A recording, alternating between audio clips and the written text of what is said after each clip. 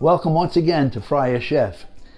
Today we have a very distinguished guest. He is the man who thought this all up and asked me if I would like to get involved in Friar Chef. It's our own superior, Father David Convertino. And he is an excellent chef. Excellent. He's one of the four good chefs here in the house. He's going to make for us a very special thing pizza fritta, which he's going to start making from ground up. Ground up, he's going to make.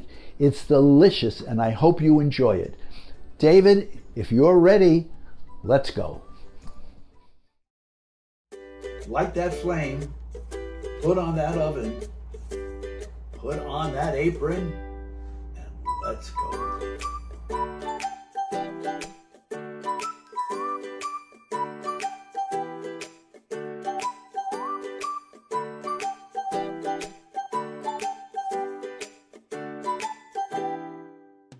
Thank you very much, Michael, for that lovely introduction. We're looking at some pizza fritta, which is finished, actually, all fried and ready to go. So, how did this all start? Let's take a look. We start with a couple teaspoons of yeast. And then, with the yeast, we put in about a half a cup of lukewarm water. Make sure it's not too cold or too hot. And just stir the mixture smoothly and nicely. Then we're going to take and add one teaspoon of sugar and we're going to stir that again gently.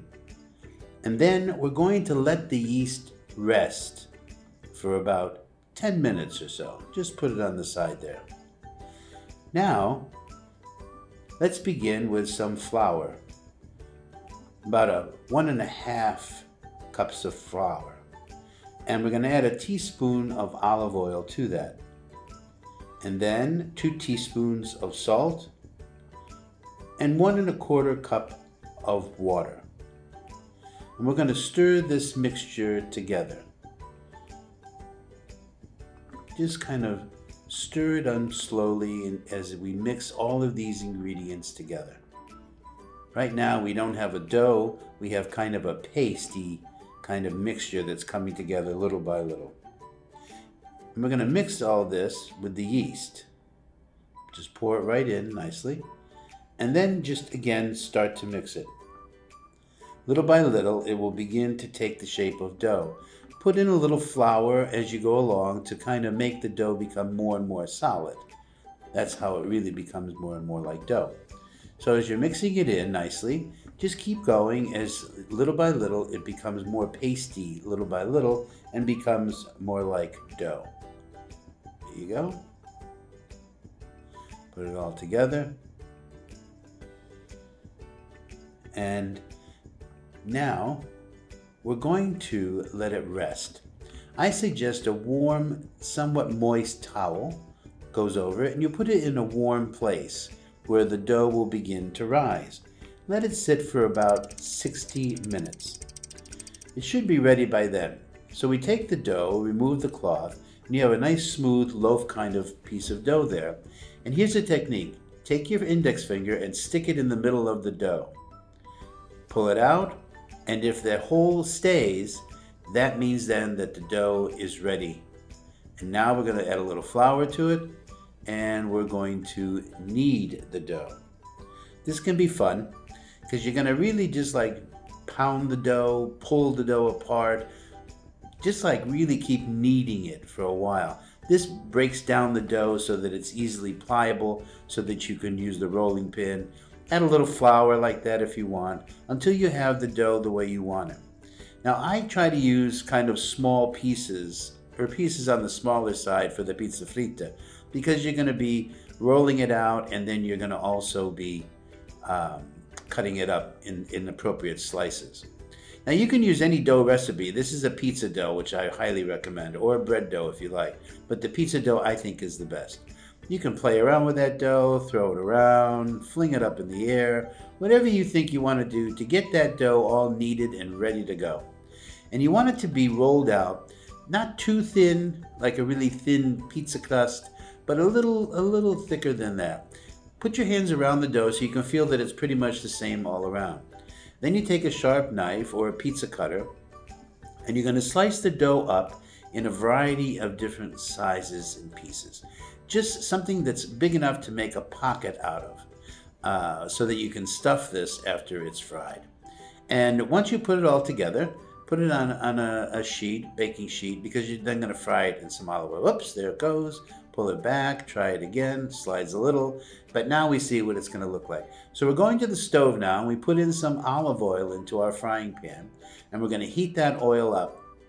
And we simply drop in one slice at a time of the pizza fritta. You just want to fry it until it's a golden brown. It doesn't take long, a couple of minutes. You'll begin to see, sometimes they puff up. If they puff up, just kind of push them down with a tongs or a fork to kind of break that dough bubble that, that kind of puffs up while they're frying. You see, you just want that golden brown color. And I say, look, beautiful, huh?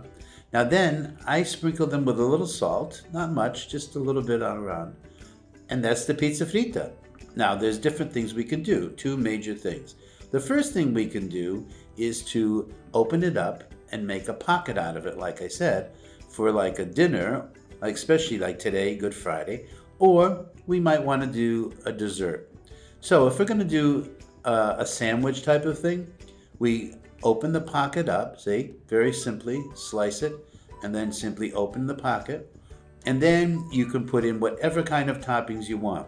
Because it's Good Friday, we're only going to put in some kinds of non meat variables, obviously. So I put some tomatoes, some cheese, I love American cheese, a little salt, and then push everything into the pocket and take a nice big bite. Mmm, it's delicious. Mwah. Excellent, excellent. I think you'll really enjoy these. Or if we want to do a dessert, we cover the pizza fritta with some powdered sugar and we have ourselves a nice little dessert. It's delicious. You can do so many things with these. Wonderful little pizza fritta things. Excellent, excellent. Enjoy, and I hope you like it. A blessed Good Friday and a very happy Easter. Thanks, Father David. That was great. Let me tell you something. I had three of the little piggy I am. But you know, as David showed you, open it up and you can stuff it with anything you want. And it's so delicious. But you know what I like to put in there? I like to put a little salami a little provolone, and uh, maybe a little, little touch of oil in there. It's absolutely delicious. I hope you enjoyed it, and please try it. And if you've missed the recipe, go online, you'll find it, and try it, especially Good Friday. God bless, and have a wonderful Easter.